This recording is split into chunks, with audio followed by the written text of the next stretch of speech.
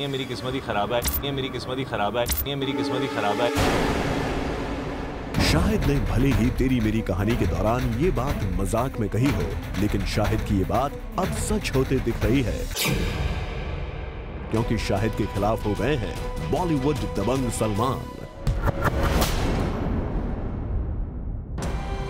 सलमान ने शाहिद को अपनी फ़िल्म से दिखा दिया है बाहर का रास्ता। और अब सलमान की नाराज़गी से लग सकता है शाहिद के करियर पर ग्रहण। क्योंकि अगर बॉलीवुड में सलमान किसी से नाराज़ हो जाएँ, तो उसे पूछने वाला कोई नहीं रह जाता। जी हाँ खबर आ रही है कि राजश्री प्रोडक्शंस के अंडर बनने जा रही फ़िल्म बड़े भैया के लीड एक्टर सलमान किसी नाराज़गी की वजह से शाहिद के साथ काम नहीं करना चाहते और राजश्री प्रोडक्शंस को सलमान ने ये साफ़ कर दिया है कि फ़िल्म में बड़े भैया के छोटे भाई शाहिद बिल्कुल नहीं होंगे और राजश्री इस रोल के लिए बॉलीवुड के किसी नए चेहरे की तलाश करे। वैसे शाहिद को इस फ़िल्म से बाहर निकालने का फैसला राजश्री के लिए आसान नहीं रहा होगा, क्योंकि शाहिद इस प्रोडक्शन कंपनी के ब्लू आइड बॉय है। शाहिद ने इस प्रोडक्शन कंपनी के साथ फ़िल्म विवाह की थी, जो कि एक बड़ी हिट साबित हुई थी। और यही वजह है कि इस फ़िल्म में सलमान के छोटे भाई के लिए शाहिद को चूज़ किया गया था। लेकिन क्या वजह है कि सलमान अचानक शाहिद से इतने नाराज़ हो गए हैं? सोर्सेस की माने तो सलमान की नाराज़गी की वजह कई हैं। हाल ही में खबर आई थी कि सलमान के हिट फ़िल्म वांटेड के सीक्वल के लिए प्रभु देवा ने शाहिद को अप्रोच किया था और शाहिद ने इस फ़िल्म के लिए अपनी हामी भी भर दी थी। और ये बात सलमान को बिल्कुल भी पसंद नहीं आई।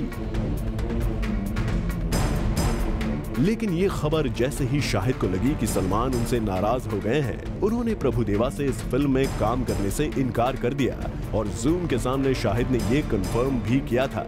I don't think anybody can replace Salman Khan, yaar. And uh, I think because me and Prabhu sir have been meeting up to do a film together, so I think because people know that we are meeting, they are jumping to conclusions. Honestly, हमने कुछ decide नहीं किया है what we will do, when we will do it. But yes, we're both keen to work with each other, and if something works out, great. But these are all rumors. There's no, I mean, I've not said yes to anything. Well well, Shahid आपने शायद कुछ ज़्यादा ही देर कर दी क्योंकि सलमान तो आपसे already नाराज़ हो चुके हैं और उन्हें मनाने के लिए आपको अब और कुछ करना होगा। वैसे आप सोच रहे होंगे कि इतनी छोटी सी बात के लिए सलमान इतने क्यों नाराज़ हो रहे हैं? तो आपको बता दें कि ये लड़ाई हाल फ़िलहाल की नहीं शाहिद ने इस लड़ाई की शुरुआत खुद लगभग छह साल पहले की थी।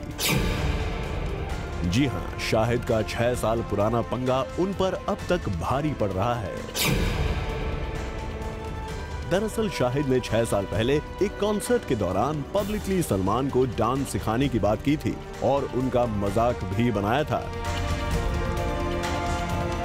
उस समय से आज तक सलमान इस बात को नहीं भूले हैं। सबसे पहले सलमान ने शाहिद करीना की फ़िल्म मिलेंगे मिलेंगे में गेस्ट अपियरेंस करने से इनकार कर दिया और फिर ऐसे कई मौके आए जब सलमान ने शाहिद को उनकी गलती के लिए सजा दी। वैसे सलमान शायद शाहिद की इस गलती को कुछ समय पहले माफ़ कर देते, लेकिन फ़िल्म वांटेड और दिल बोले हड़िप्पा के बॉक्स ऑफ़िस पर एक साथ रिलीज़ होने के दौरान फिर से शाहिद के कॉमेंट्स सलमान को रास नहीं आए, और इस शांत पड़ रही दुश्मनी में आ गया नया ट्विस्ट वेल well, शाहिद शायद इस कहावत को भूल गए हैं कि जंगल में रहकर शेर से दुश्मनी करना कोई समझदारी की बात नहीं होती। भले ही बॉलीवुड में शाहिद अपने लिए नया मकाम बना रहे हैं लेकिन सलमान से पंगा लेना उनके करियर पर पड़ सकता है भारी। हार्दिक तन्ना जूम मुंबई।